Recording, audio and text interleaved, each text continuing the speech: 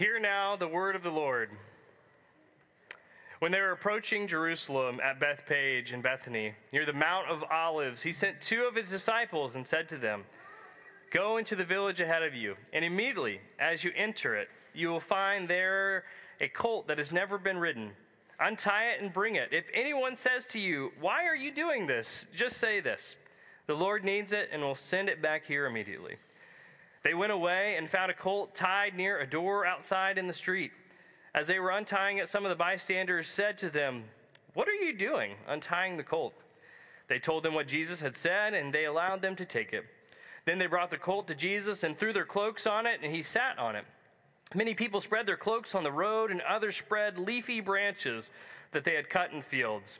Then those who went ahead and those who followed were shouting, Hosanna! Blessed is the one who comes in the name of the Lord. Blessed is the coming kingdom of our ancestor David. Hosanna in the highest heaven. Then he entered Jerusalem and he went into the temple. And when we looked around at everything as it was already late, he went out to Bethany with the twelve. Friends, welcome to Palm Sunday. We invite you now to stand, lift your voices, wave those palm branches, and join in our processional hymn. All right, guys.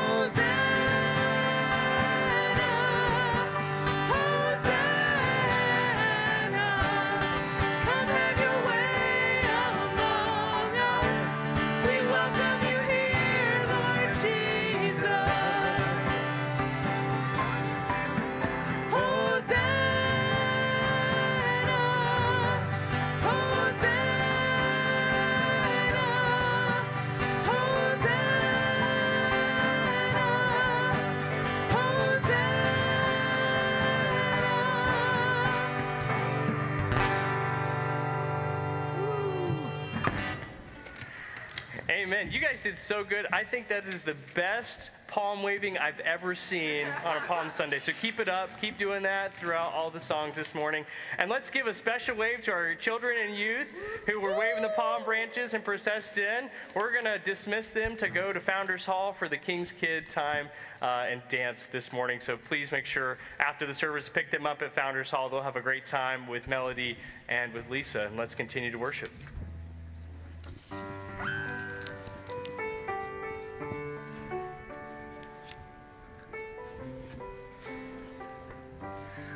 I want to take just a moment to thank all of you for being here on Palm Sunday, this uh, wonderful beginning to Holy Week. Uh, what a blessing it is, as it always is, to be here in this space, of course, with all of you, uh, but also to be worshiping with those of you who are streaming.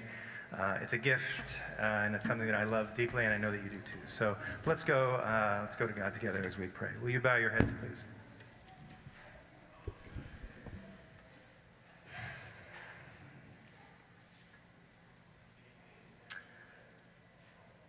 Dear, gracious, and amazing, and perpetual Lord, thank you. Thank you for the gift of this moment, and thank you for the gift of this day, and thank you for the gift of this season. We are blessed to be here as we, as we reflect on who you are in this world and in our lives.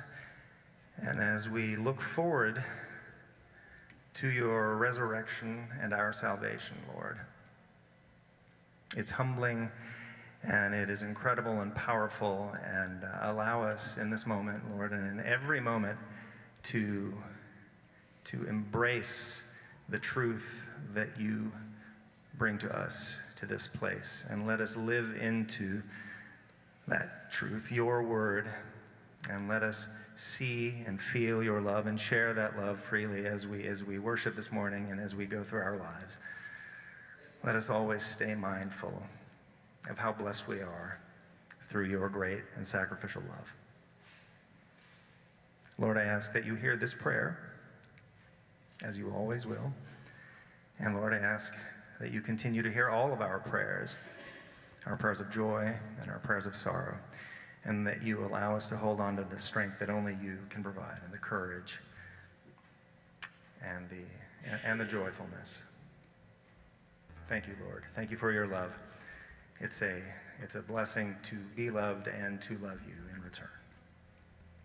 We pray these things this morning and all things in your Son's holy and precious name. And all God's people say, Amen. Amen.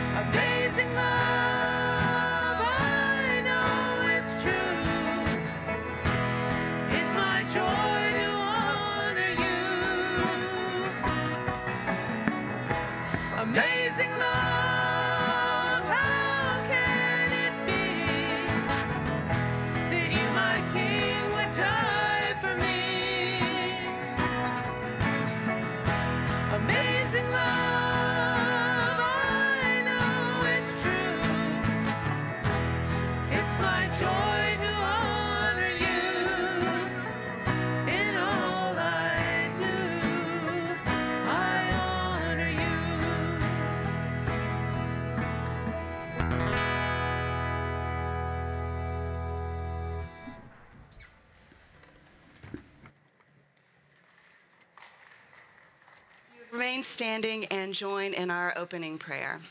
The words will be on the screen for us. God of salvation, our Lord, entered his passion to raise us to this life. In this holiest of weeks, help us to walk the way of the cross, that we may be raised in a resurrection like his and dwell forever in you, eternal God, creator, redeemer, and sustainer. Amen. May-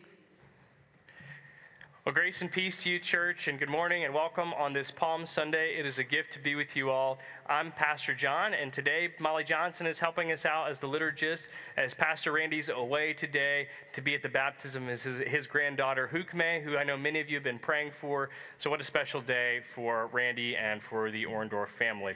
Uh, as you're greeted this morning, we hope that you got a bulletin. I see that many of you got a palm. You should also get a palm cross. If you didn't get one on the way in, get one on the way out. This is for you to take home. If you want to take the palm branches with you, that's okay too. But know that we'll take those and we'll, we'll burn those and use those for ashes for Palm or for Ash Wednesday uh, next year.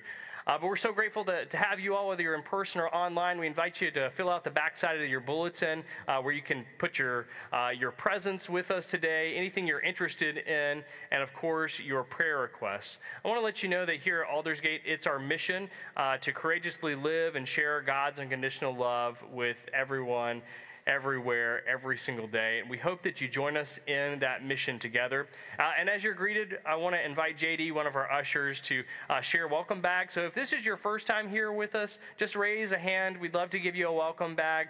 JD will uh, move forward and, and, uh, and, share a bag with you. Uh, and we want to welcome all of you who are online as well for the first time. Uh, we'd love to see your messages and comments in the chat. Uh, some announcements we'd like to share with you all. Uh, we know that the, the United Methodist Church is in the news right now and will continue to be in the news with General Conference. Uh, this is every four years we gather as a global church uh, to make decisions about the future uh, from big to small. Uh, so you'll be hearing and seeing a lot about that. it's coming up in April and May in Charlotte. Please know we have a ton of great information on the website. Sue Kane, one of our leaders, put that together along with Molly and Jill, um, who helped put that on the website. So it's right there on the home page. It's also in the drop down on the welcome page. There's probably way more information than you ever care to know. But if you have questions, go there first, uh, and Pastor Randy and I will be sure to follow up. It'll share all of the things that we're doing and sharing as well. Uh, we want to let you know we're in the season of nominations. Uh, so if you're interested in joining, serving in leadership in any capacity, we have a lot of uh, spots that we would love to have you serve and use your gifts uh, and calling. So please uh, let Randy or I know if you're interested. We've got packets available for you, and we are setting up interviews right now.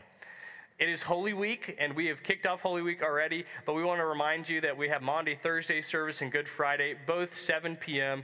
Uh, this week here in the sanctuary and online. Both of those will be great services we hope you uh, enjoy and participate in. And of course, next Sunday is the big one. It's Easter.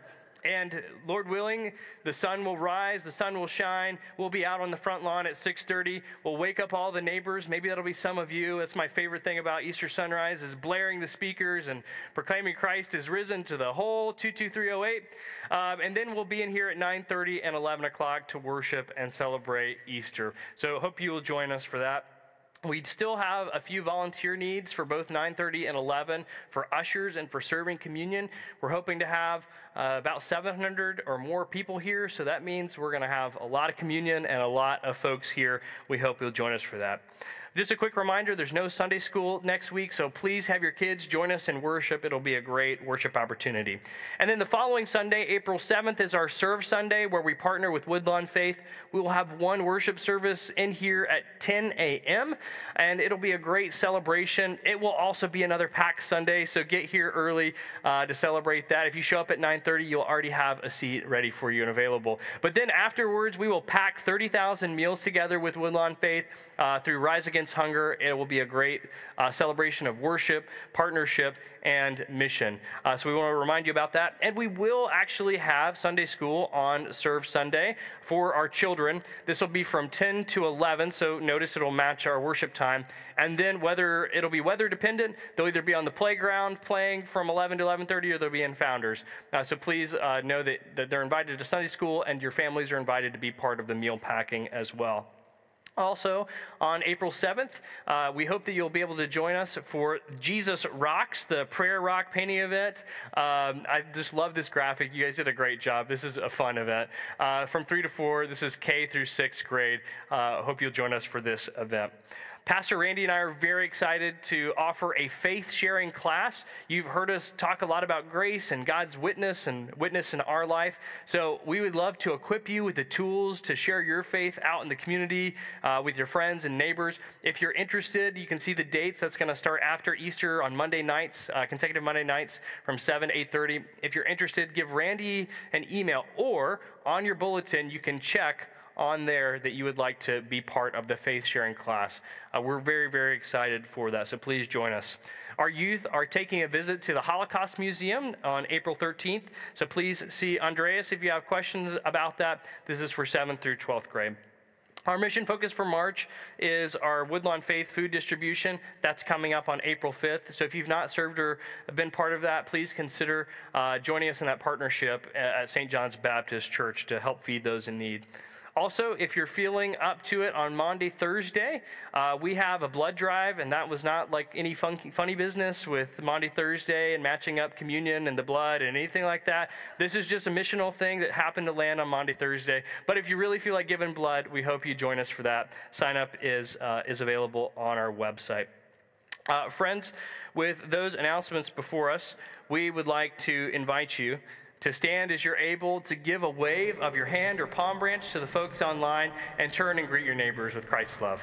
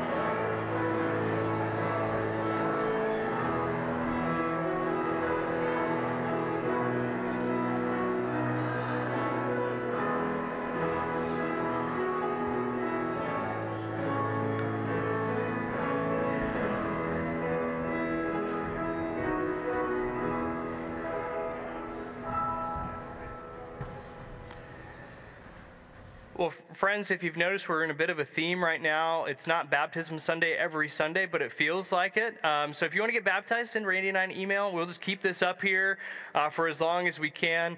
Uh, but we are so excited to have Mari Kraft be baptized today. Uh, I've been especially grateful to journey with the Kraft family as I've been here, and they're part of our house church ministry. And I've, we love getting to know the girls. And about a month or so ago, Mari uh, said that she wanted to be baptized, and she said, "You know, this is just the next step for me in my faith."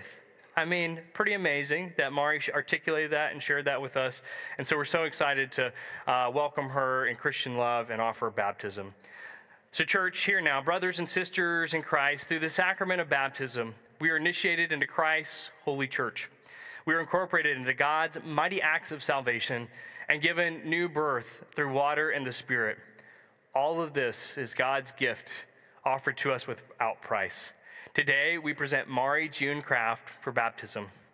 So, Mari, I ask you now, on behalf of the whole church, do you renounce the spiritual forces of wickedness, reject the evil powers of this world, and repent of your sin? If so, say, I do. Do you accept the freedom and power God gives you to resist evil, injustice, and oppression in whatever forms they present themselves? If so, say, I do. Do you confess Jesus Christ as your Savior? Put your whole trust in His grace and promise to serve Him as your Lord and union with the church, which Christ has opened to people of all ages, nations, and races. If so, say, I do. Perfect. Do you, as Christ's body, the church, reaffirm your rejection of sin and your commitment to Christ? Will you nurture one another in Christian faith and life and include Mari before you now in your care? With God's help, we proclaim the good news and live according to the example of Christ. We will surround Mari with a community of love and forgiveness that she may grow in her trust of God and be found faithful in her service to others. We will pray for her that she may be a true disciple who walks in the way that leads to life. Friends, it was our eternal God that spoke. When nothing existed but chaos, O oh God, you swept across the dark waters. You brought forth light. And in the days of Noah, you saved those on the ark through water. After the flood, you set in the clouds a rainbow. When you saw your people as slaves in Egypt, you led them to freedom through the sea. Their children you brought through the Jordan to the land which you promised. In the fullness of time, you sent Jesus, nurtured in the water of the womb. He was baptized by John and anointed by the Spirit. He called his disciples to share in his baptism of death and resurrection and to make disciples of all nations. So, God, we ask that you pour out your Holy Spirit to bless this gift of water and Mari who receives it, to wash away her sin, to clothe her in righteousness, that throughout her life, that dying and being raised with Christ, she may share in Christ's final victory. Now, friends, as we have blessed this water, I have to share with you that as we were walking with Mari through her baptism and how she wanted to be baptized, uh, I knew some things about the Kraft family. I know that they have a great boat. I know that they're a Navy family. I know they love to be out in the water. So I said, Mari, would you like a shell for your baptism? And she said, Yes. So the shell is an ancient Christian symbol. Uh, I can see it right now in this great painting out in the narthex. Uh, it's an ancient Christian symbol of baptism to remind us of the waters that sweep over us. And so, Mari, as you're baptized today, know that there have been many, many Christians who have received the waters of baptism through the shell and who have looked to the shell as a sign of God's grace. So, Mari, I baptize you now in the name of the Father, in the name of the Son, in the name of the Holy Spirit. May you be anointed and loved and cared for throughout all your days. Now, friends, it is our joy to welcome our new sister in Christ, and let us respond by saying, Through baptism, you are inaugurated to the Holy Spirit and to God's new creation, and made to share in the royal priesthood. We are all one in Christ Jesus with joy and thanksgiving, we welcome you as a member of the family of Christ. Amen. And Paul, our lay leader, is going to offer a prayer now for Mari. Heavenly Father, as we gather today here on Palm Sunday, we, unlike those 2,000 years ago in Jerusalem, we know how this story ends, Lord. And we just ask that as Mari grows in spirit, she begins to truly understand how this story ends what it means, the grace that God provided, Christ provided on that cross, and that she understand how that works in her life, her faith, and her work. And all God's people said, Amen. Amen. Mari, receive this blessing. The Holy Spirit work within you, that being born through water and the Spirit, you may be a faithful disciple of Jesus Christ. Amen. Molly, we've got some, some things to offer you to remember your baptism and their special way that you were baptized with a shell today. Got a certificate for you that's going to mark this. And we have this special candle for you that we encourage you to light it on the anniversary of your baptism every year to remember this special moment in your life and in your walk of faith. Great job. Yeah. Friends, let's share signs of God's grace and love with Mari and the Kraft family now.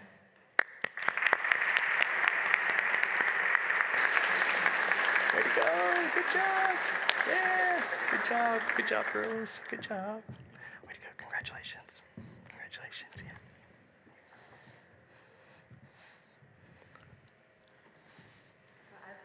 Are celebrating our faith and celebrating the baptism of Mari today and celebrating Palm Sunday, uh, we also want to take a moment to share with you uh, about a ministry that's in our area called the Not Too Far From Here Ministry.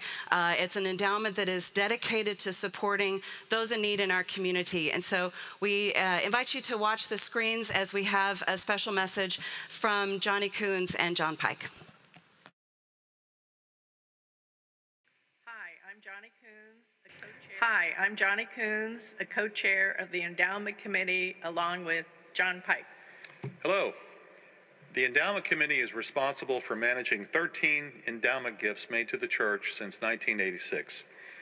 These endowments include a general endowment, one for music enhancement, youth missions, worship, college, and seminary scholarships. One of the most important endowments is the Not Too Far From Here Fund managed by the committee. This fund was established through the generosity of one church member, Joe Tompkins. Joe Tompkins gave over $1 million to assist people in our community not too far from here. These people need immediate and short term financial help to pay their rent, pay their utilities, car payments, and sometimes even medical bills. The fund has prevented countless family evictions, avoided power shutoffs, and restored transportation to people who need it to get to work, school, or doctor's appointments. The fund exclusively serves members of our local community not too far from here. Upon Joe's death, his family established a $400,000 endowment to continue his ongoing legacy of help. So far in 2024, the committee has fielded and responded to 42 requests for assistance in 2024 alone. We need your help to help continue Joe's legacy. Please consider giving to the Not Too Far From Here Fund, as other folks have done, either through a one-time gift or regular giving through Realm. Thank you. Thank you. Johnny and John. This time, I'd like to invite our ushers forward for the receiving of our tithes and offerings.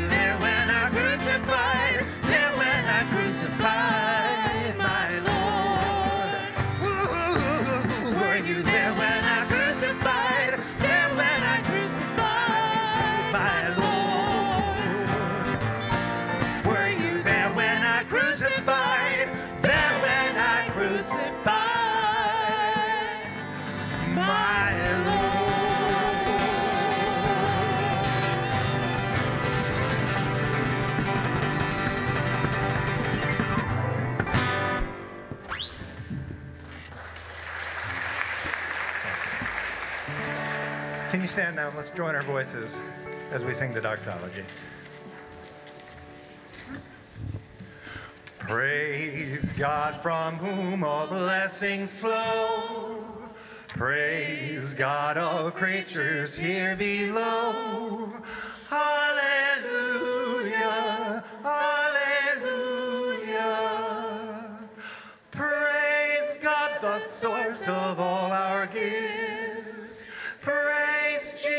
Christ, whose power uplifts.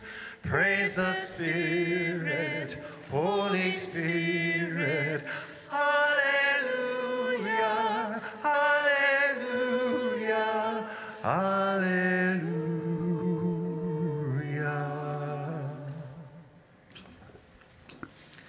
Will you pray with me? God, we come to you today on this beautiful Sunday, this beautiful Palm Sunday, as we come and enter Holy Week. Uh, and we come with open hearts and open spirits as we celebrate the joy that is your arrival and knowing what's coming this week with your sacrifice for our salvation, Lord. We come to you with these gifts of our time, our talents, our financial resources, our love, our grace, and we offer this up to you and pray that we are able to take this out into your community so that we can continue to courageously live your unconditional love. In your name we pray. Amen.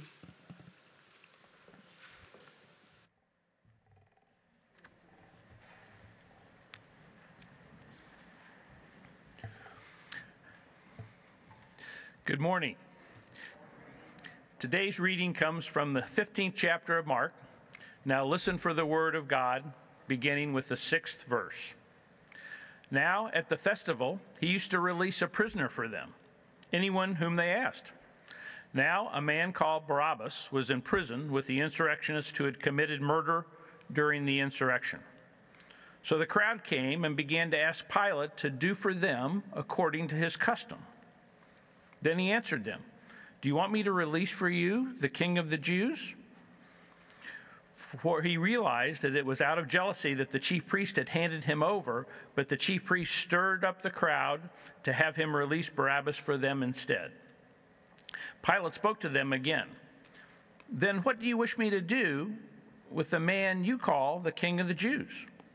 They shouted back, Crucify him. Pilate asked them, Why?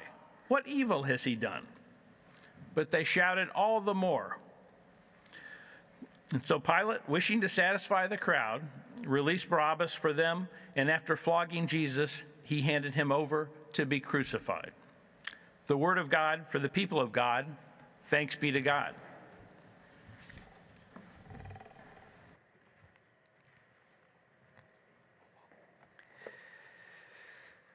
Friends, as we continue to worship this morning, would you join me in a word of prayer?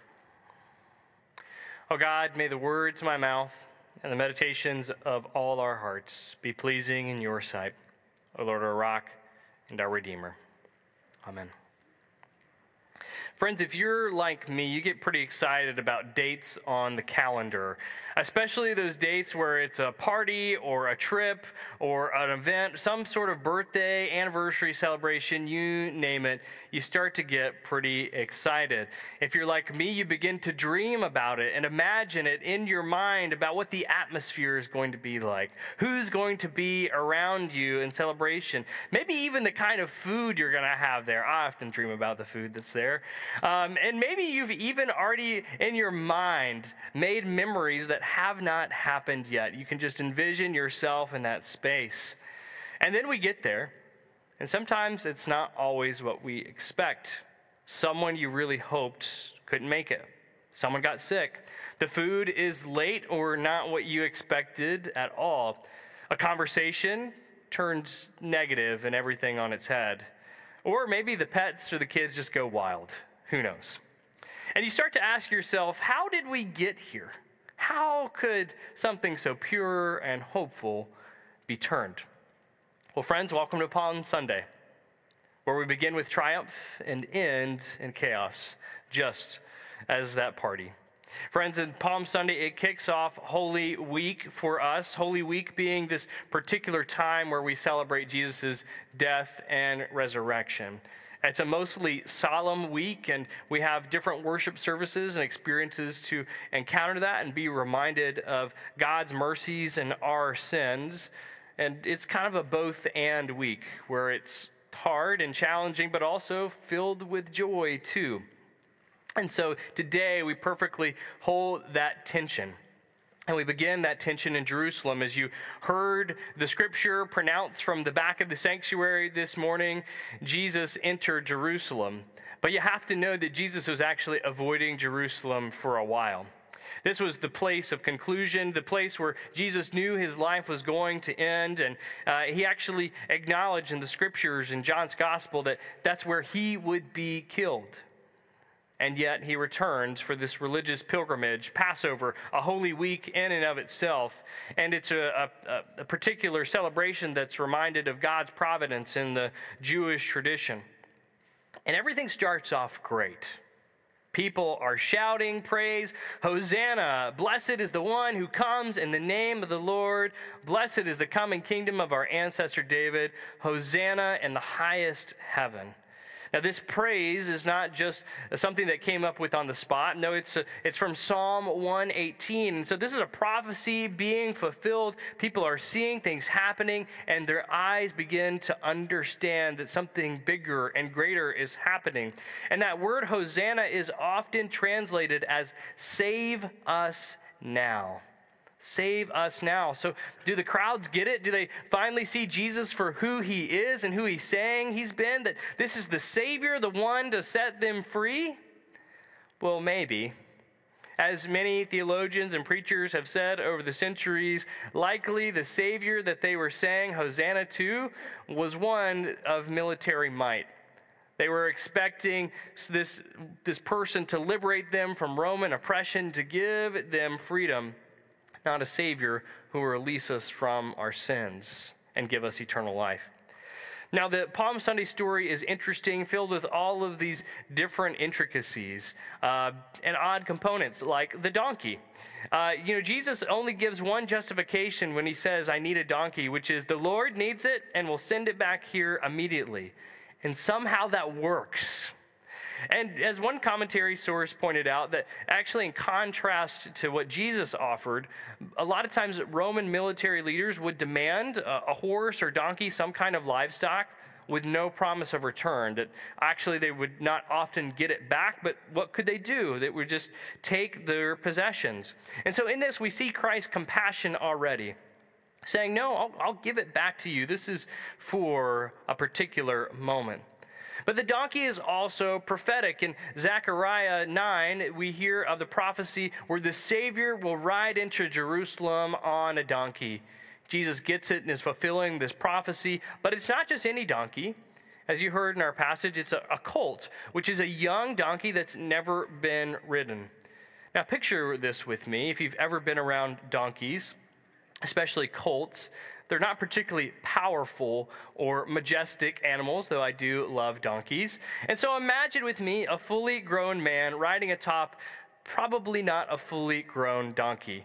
It's a bit comical if you really think about it. Are Jesus' feet like dragging on the ground? I don't know. Um, but this is truly in contrast to the Roman military processions that would happen this time of year where they would ride in on their tall, majestic war horses and process in to say, We're in charge, we rule. Instead, Jesus rides in, maybe clumsily or comically, on this colt, claiming his crown of Prince of Peace. And in it, we see Jesus' humility, the one who suffers and endures for our sake. There's also these other curious components like the cloaks that were laid down or the palm branches that we've waved this morning. Now, the cloaks, they symbolize a respect towards authority and another pointing back to the Old Testament. When, when in 2 Kings, people were laying down their cloaks on the road for King Jehu and his entrance. And now the palm branches. Now, this is where things get a little bit funny. And Mark's gospel, if you heard the scripture this morning, it said leafy branches. It didn't specify palm branches at all. It's, we get palm branches from John's gospel. And so, uh, what were they exactly waving according to Mark? Who knows? But as, as a number of commentaries pointed out, there were many historic moments in the Jewish faith where they would wave palm branches as a sign of peace or celebration. So it's likely to be the palm branches that we were waving, something similar to that. And finally, Jesus enters on Passover. This religious pilgrimage, this set apart time and space where something holy is to be remembered and happen. There were lots of people there, services, sacrifices, celebrations. And at this time, they loved Jesus. And everything kind of comes into clearer vision and picture when we get to the temple, which is the whole point of this pilgrimage, the whole place of Jerusalem, that every commentary source I read said the temple is significant. At the end of our passage, Jesus stops at the temple. The scripture says, when he looked around at everything, it was already late, and he went out to Bethany with the twelve. So picture it with me. Jesus in this temple, you know, he's just received shouts of praise on his entry into Jerusalem, and the, temp- the, the temple is virtually empty. According to Jewish historian Josephus, the crowds for the, this religious pilgrimage were estimated to be as many as 3 million people. And yet the temple is calm, it's at peace. This is remarkable. And so I imagine Jesus is soaking in this moment for a second envisioning what will happen over the course of the next few days, kind of like a musician who goes on stage hours before the performance to get a feel for their seat, the chair, the sound, the space, and the acoustics. It's a moment of peace in the chaos. And it's where everything will turn on its head. See, our, our passage that was read earlier from Mark 11 chronicles this triumphant entry. And throughout Mark's gospel, we hear all these different events leading to uh, the passage that Mark Easton read for us from Mark 15. And in between, we hear that at the temple, Jesus will cleanse it. He cha- the chief priest that will challenge Jesus' authority, and he will challenge them right back, leaving them in silence. Jesus instructs his disciples to watch out for the religious leaders. He lifts up the faithfulness of the widow's mite and her generosity, especially given the backdrop of all these lavish gifts. I mean, think about all of the animals being sacrificed and bought and sold in this space. And he predicts the destruction of the temple, which is really his body. Through these twists, things take a turn. All of this praise turns to pain and it begins to become a tragedy where Jesus prepares and we prepare for the beginning of the end of betrayals and ultimately a crucifixion. Theologian Pheme Perkins points out that crowds are not reliable. Maybe you've been in a crowd that turned sour before. I know I have. We have phrases like hive mind or mob mentality, which speak to this idea where things can go really south. I mean, we can easily think to three years ago, January 6th, here in our nation's capital, or in our nation's history, attack on protesters and the civil rights movement, and, and any number of other instances where crowds and people turned on each other. And it's the same people who shouted Hosanna and words of praise that offer up, Crucify him.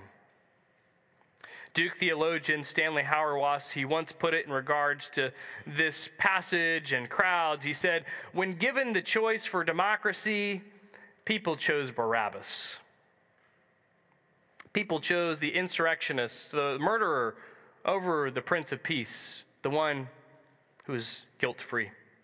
So, this was a, a, group betrayal. This was one of many betrayals Jesus would experience. And we don't know if it was because of pride or envy, dissent, or any of all, or all of these reasons. But as we look at this passage, things start to get a little uncomfortable for us because we know we're capable of the same.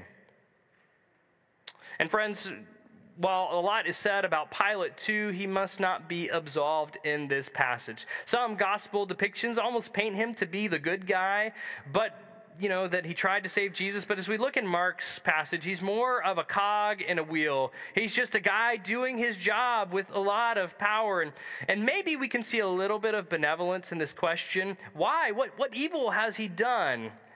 And yet, what does Pilate do? He just turns Jesus right over. He appeases the masses and he gives the constituents what he wants. What can I say? Pilate likes job security. But, friends, we can join the mob too, even if it's not what we planned or hoped. Holy Week invites us to think about what would we do, and maybe more pointedly, what are we capable of? In the wrong setting, in the wrong place, we're capable of, of great and terrible acts. It's because of this mentality that genocides have taken place throughout history, even to present day.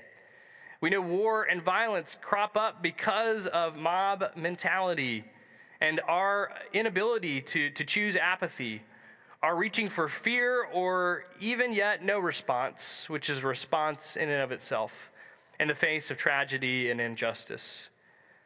That's why the, sh- the, the crowd shouts, Crucify him.